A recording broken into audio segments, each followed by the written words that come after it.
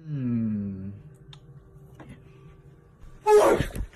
What do you think you're doing? Uh, just grabbing a delicious bottle of Pepsi, Pepsi man. Yeah, that's what I thought.